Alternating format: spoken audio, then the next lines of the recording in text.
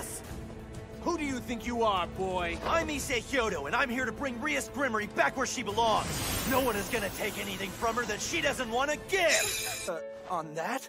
Yes, please. Unless you don't want to. Are you kidding me? Of course I do. If I don't die on this thing, I'll see you at the club.